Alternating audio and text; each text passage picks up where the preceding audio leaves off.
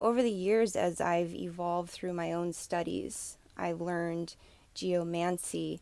A lot of my work in terms of healing the earth, healing myself, my work has been to really hone in on this zero point field, this place within my own heart that is a force of creation. So, as you know, a traveler, it's interesting because I've used this point of reference as like a compass. It's been something that has guided me, and it's also shown me when other people are in a equal exchange energetically with me on that level. It shows me when people are tuned in on that level themselves. Now, something I've also noticed is as I've traveled around to different cities and towns, I will naturally magnetize to those other forces. There are people that are tuned into their heart base and they're using and working with that energy. I was very surprised to show up in a particular town because this particular town is known to be I I would say like uh, I don't know somebody that didn't live there would say this is a town where rich people live and maybe they're not so tuned into their heart. Wrong.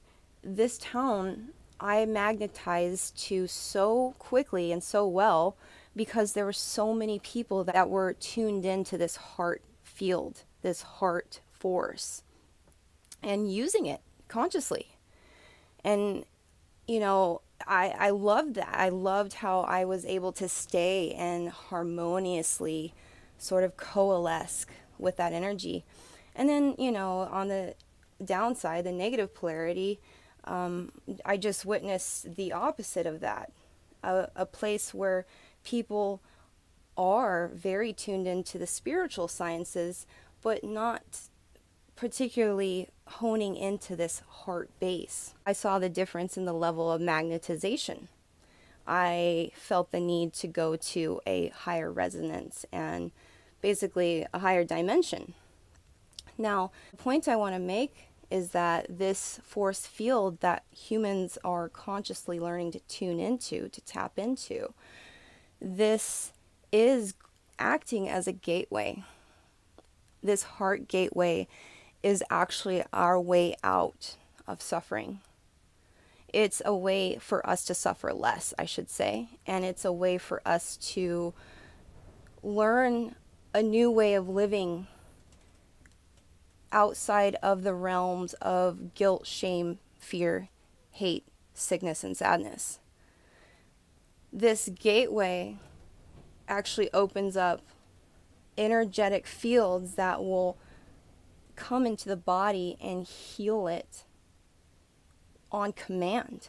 You choose the thought stream, you choose the thought form, and this energy comes in and it will command itself into your reality. This gateway allows us to work in congruence with the universe in a way that we can have instant manifestation. But we have to be aligned with this force field this toroidal effect. It doesn't come from the mind and it doesn't come from any of the lower chakras. It comes from that center point within the heart. And that is our way out compassion, acceptance, patience, tolerance, love, joy, peace. It's all there. And it's a gateway out into the realm of infinite possibilities.